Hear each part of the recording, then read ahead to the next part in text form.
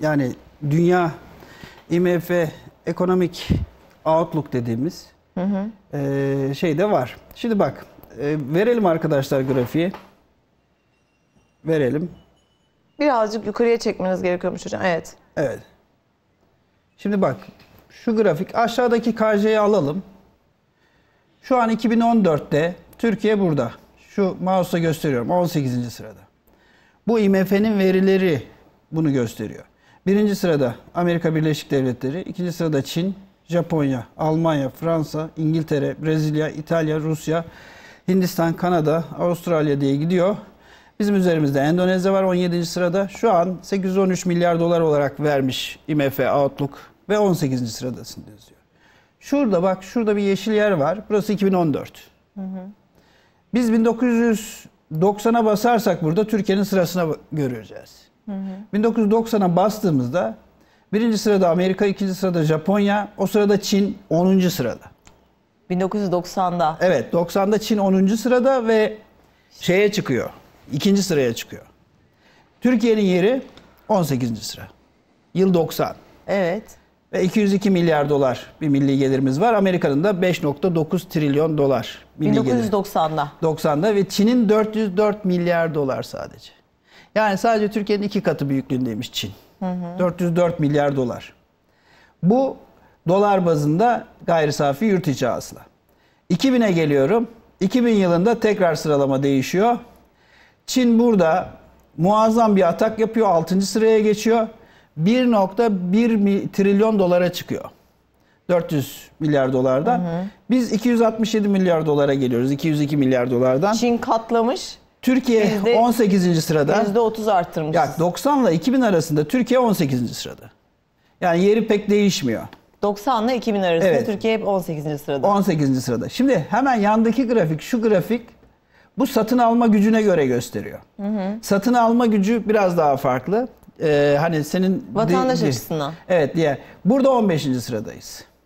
Ve Sene- Çin burada bu 5. hangisi sırada. hocam? Efendim? Sene, sene kaç? bu? 90. 90. Yani burada 90'da 15. sıradayız satın alma gücü açısından. 370 373 milyar dolar bir satın alma gücümüz var. Yani aslında milli gelir 267 do- milyar dolar.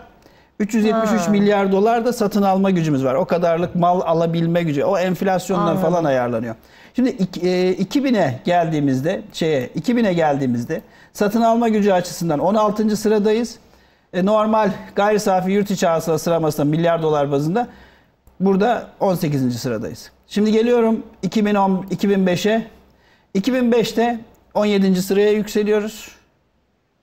Burada 2000, burada 2005 rakamı yok. 2010'da 17'deyiz. 2011'de yeniden 18'e düşüyoruz. Bizi Endonezya e, yukarı geçiyor. 2012'de 18. sıradayız. 2013'te 18. sıradayız. 2014'te şu an bu IMF'nin veri tabanına göre konuşuyor. Yani başka e, dolar kurunu IMF ortalama kurumu alıyor. Yılın ortalama kurumu alıyor. Kapanış kurumu alıyor. Bu değiştirebilir. Ama IMF'nin veri tabanında böyle. Yani Türkiye hiçbir zaman zaten 1990'dan bu yana yani 80'de bile kaçıncı sıradayız biliyor musun? 80'de 20. sıradayız. İki basamak 90'a kadar. Ya hayır 2014'e kadar. 24 yılda 90'a iki- kadar 90'dan sonrası zaten değişmemiş. 17 ile 18 arasında gitmişiz gelmişiz. Evet, bir 17 2014'te kaçıncı sıradayız? Ee, 2014'te şu an 18. sıradayız. 18. Milli gelirde. 17 de değil. Bu yüzden 24'ten Yani hiç de ya o zaman AK Parti iktidarı döneminde biz 24'ten 17'ye geldik söylemi. Yok 24'te bir kere değiliz zaten. O bilgi Sayın şey Başbakan'a görmedik. yanlış ver, bilgi verilmiş. Yani 24'te zaten değiliz.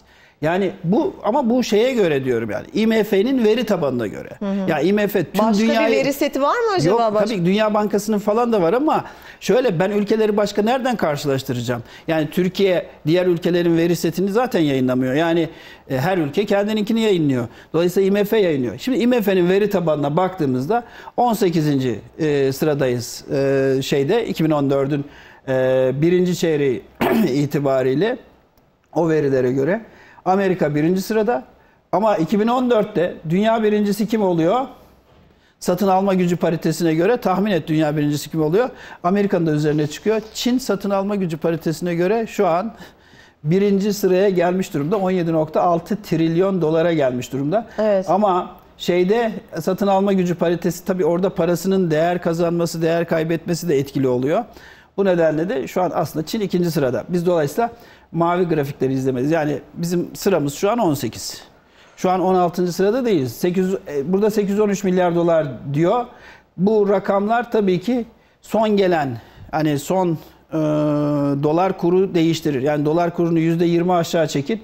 Burası 900'e çıkar. Siz de 16. sıraya çıkarsınız. Dolayısıyla Çok dolara komik. bakmak, e, dolara dolar bakmak elbette ki anlamlı değil ama sonuçta şöyle de bir şey de var. Başka ülkelerle ben nasıl karşılaştıracağım? Yani herkesin kendi parasıyla karşılaştıracak halim yok. Yani Türkiye'nin e, TL'siyle Amerika'nın dolarını veya Endonezya'nın parasını karşılaştırabilecek durum yok yani. Yani çok